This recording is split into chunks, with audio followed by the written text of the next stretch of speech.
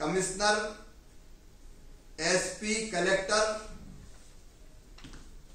का एक बड़ा काम है ये गुड गवर्नेंस जिसमें एक आता है लाइन ऑर्डर, बेहतर होना, दूसरा डिलीवरी मैकेनिज्म।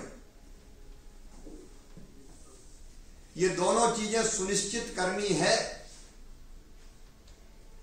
और ऐसे अपराधियों की सूची चाहिए हमें और उन पर कार्रवाई चाहिए। राज्य में बढ़ रहे अपराधों को लेकर सीएम शिवराज सख्त हो गए हैं। सीएम शिवराज अधिकारियों को साफ़ शब्दों में निर्देश दे रहे हैं कि अब लापरवाही बर्दाश्त नहीं की जाएगी। मुख्यमंत्री शिवराज सिंह चौहान ने मध्य प्रदेश की कानून व्यवस्था की समीक्षा के दौरान आपराधिक तत्वों और सफ़ेद पोष बदमाशों के खिलाफ कड़ी कार्रवाई के निर्देश देते हुए कहा कि इसमें लापरवाही बरतने पर संबंधित ज़िले के एसपी और कलेक्टर को जिम्मेदार माना जाएगा। बड़े गुंडे, बड़े अपराधी जिनसे जनता आतंकित रहती, लोग खुल के नहीं बोल पाते। अब इस तरह के जो है, छोटी कार्रवाई पहले भी होती रही, हो उसमें दिक्कत नहीं है। वो जो बदमाश है, उस तरह के जिला बदर हो,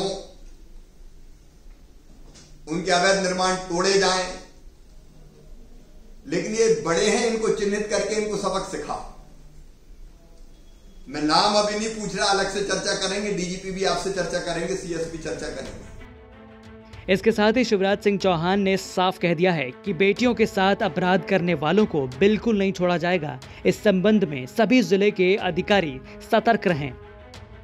बेटियों के सम्मान के साथ खिलवाड़ करने वाले और मैं सभी जिलों के पुलिस अधिकारी बैठे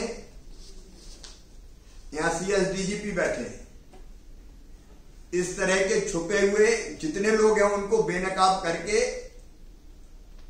उनको पकड़ना है और उनको सजा दिलवाना है। छोड़ना नहीं है। ये तो पकड़ में आ गया, भोपाल वाला। ऐसे हो सकता और भी हो जो इस तरह के धंधे कर रहे हैं। देह का व्यापार, बेटियों के साथ छेड़छाड़। कई बार बेटी बेचने की घटना हो जाती है। उनको पहचाने। दरअसल राज्य में पिछले कुछ दिनों में अपराध के मामलों में बढ़ोतरी हुई है। विपक्ष लगातार सरकार से इसको लेकर सवाल कर रही है।